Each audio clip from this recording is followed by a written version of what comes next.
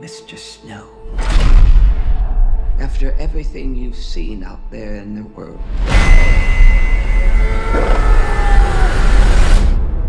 what are the Hunger Games for? Are you, are you coming to the tree?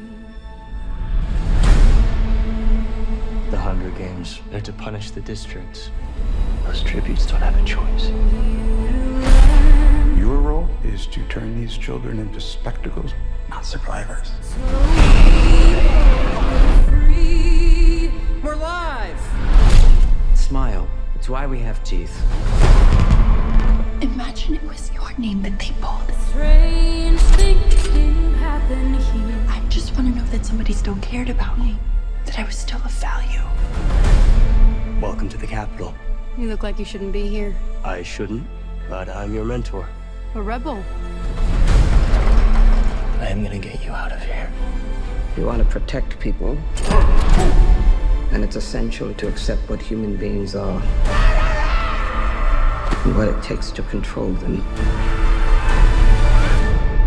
Let's see you use that famous snow charm. You seem like a good man, Coriolanus Snow. I have seen what war does to people. Fueled with the terror of becoming prey. See how quickly we become predator? I want my enemies to see a rainbow of destruction engulfing the world. You monsters! All of you! Good luck with that poor little songbird. Where is she?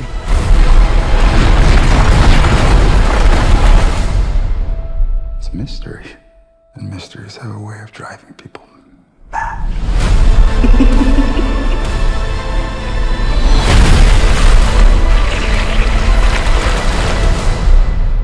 Mr. Snow, let me ask you one final time.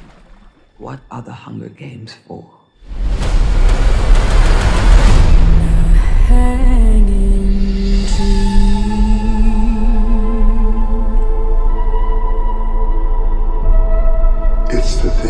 love most and destroy us.